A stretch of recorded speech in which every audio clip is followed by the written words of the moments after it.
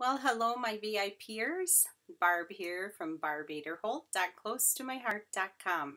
So this video is for my VIPs, but I like to let everyone see what I do for my VIPs. Um, every month I send them a card kit. And this is this month's for August. Isn't that fun? I think that people are fascinated by how this is done and I have sort of my super quick and simple way that I like to do it. It's more complicated, all the extra doodads I uh, throw on there. I am using the Thinking of You. This is from one of the subscription card kits. You get a stamp set and it comes in this little bag and there are always really good sentiments in that subscription card kit from Close to My Heart. This is a stamp of the month that was from 2019 and this A Little Hello to Brighten Your Day is one of my favorite stamps off of there and I'm also using For You from My Heart and I am using this butterfly, the die and the stamp I just love butterflies. You know that about me. I have some stitched circles from my stash and some stitched hearts from my stash. The stitched hearts were close to my heart, but they are long since gone. I'm using some lemonade ink, glacier ink, plain old black ink. We'll hope that works. And your card kit will include this is a piece of 8 by 8 cardstock. This is mint. This is retired. So this project is basically a stash buster for me. A harbor heart. Got a couple of uh, mint hearts. That butterfly. A stitched circle. Some triangle pieces. And this is paper that is retired. Um, I don't even remember what it was called, but it was from last year. A couple more pieces of the mint. Let's get going. This is how I'm going to make that me mechanism. What I like to do, I fold it in half.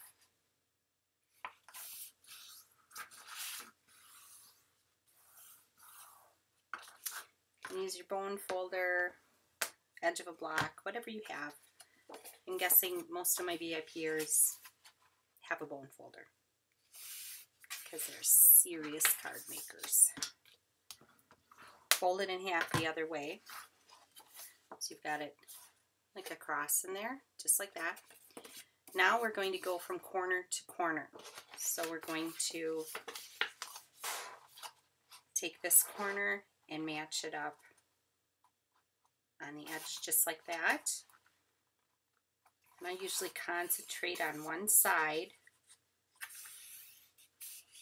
at a time and just move that paper. Yours will come pre-folded because otherwise it won't fit in an envelope to mail it. So now I've done it in one direction. What I need to do now is go in the opposite direction along that diagonal fold. So just like that.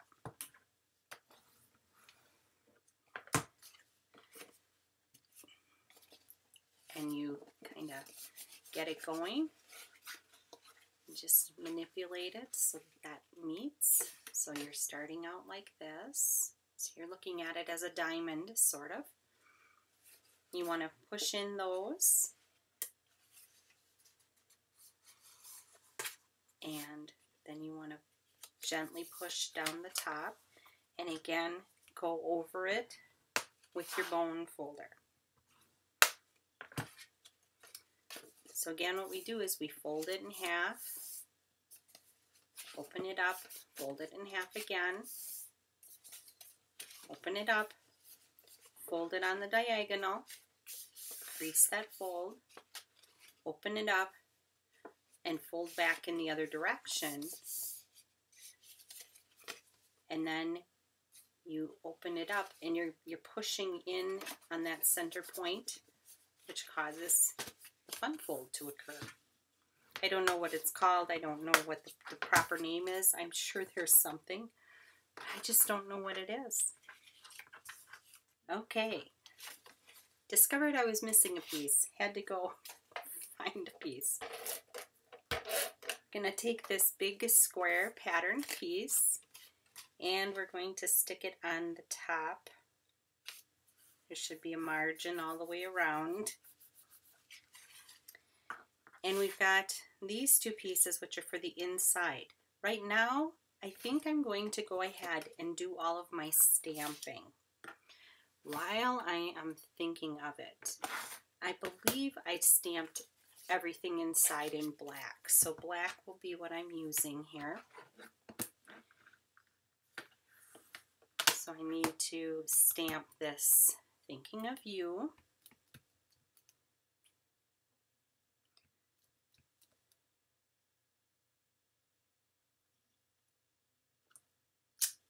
Just like that. I need to do the butterfly. Now for the butterfly, I think I am going to,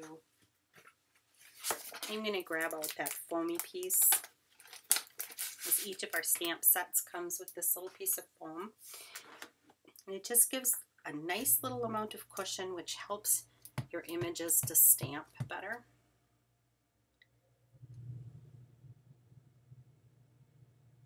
Get my head over it, sorry. And get that pushed down That ink transfers. Ooh, very nice. A nice butterfly. Okay, next I need to do this a little hello to brighten your day. And I'm it here. Oh, I want to make sure though as I'm looking at this, you want to make sure that you're using the opposite side. So if you've got the light color on, in the middle, inside, when in the fold, you should be using the light side.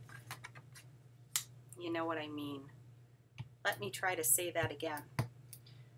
You're either going to have the dark side or the light side on the inside of your fold. You should use the opposite side with these little pieces so that it gives you a little a little um, color variation there. I think it looks nice for layering. And same here, I'm going to flip that over. And for you from my, just like that. That should end the black ink. I do want to take I'm using some Glacier. You could use Glacier, you could use ink, Mink, or whatever color you have that you want to use if inking is your thing. I did not ink edges on the kit. Not everyone likes that look, so I left it plain. And plain looks fine too.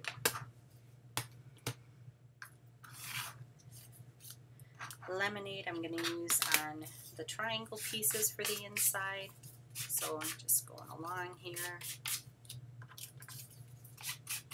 You want two of each side of the pattern, two different patterns. Um, there are choices. You can flip them around until you get two patterns that you like, that you think look nice together. And I'm just swiping that paper across there the other thing I need to do, got a big old ink pad here. You can see I missed doing the edges, so I'm just going to do a little, just like that, just in place. Just getting a little ink on there because I like how that looks. Kind of messy. So then I'm going to put a little of the the lemonade on there and a little bit of the glacier. And I think your butterflies come pre-painted. And honestly, I did this so long ago, I don't even know if this is how I did it. But this is how I'm doing it today. I am going to take my shimmer brush and use it as a paintbrush. Pull in some of that uh, lemonade. I'm going to hit the middle here with some glacier and then a little more of the glacier on the edges. I may have in your samples used distress ink. I, I don't remember. I did this a month ago. And I'm just getting around being able to record. So, you know how that goes. Time gets away from you.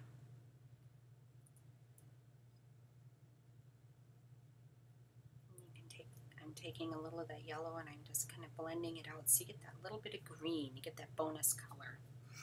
And then I'm just going to wipe this off on a piece of paper. Oop, got a piece over to the side.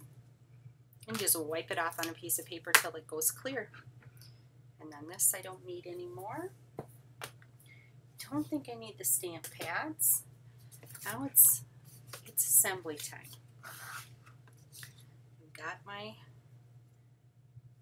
see, I'm going to pull this one in so I can refer to it. you're going to be a stinker. Put a little glue on the heart. And that goes over quite a ways.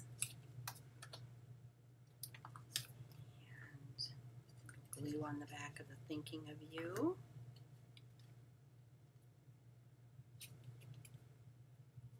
And then the butterfly, I'm going to bend up the wings a little bit and I'm just putting glue under where the body would be on the butterfly so that the wings can kind of float.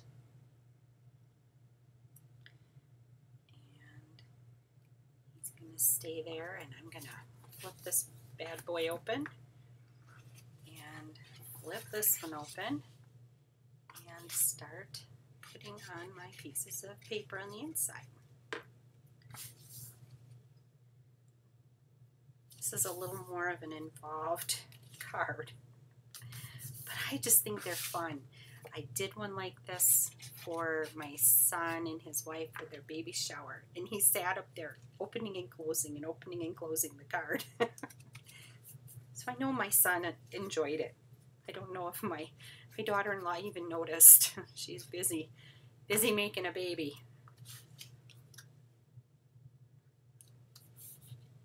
And here you do opposites. So you can see the opposite patterns. And that's what you want to do. I think that's what makes it fun on the inside.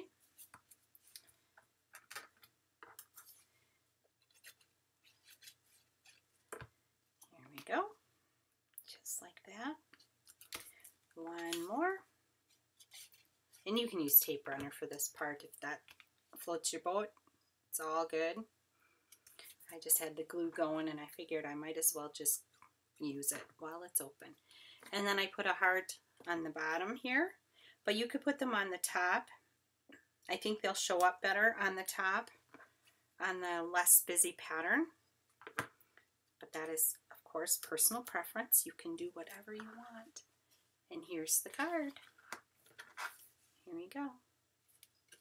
And it opens, Sort of an explosion card. Kind of fun. I hope you enjoy your VIP club card kit for the month of August. Thank you so much for your business, for stopping by. Have a blessed, crafty day.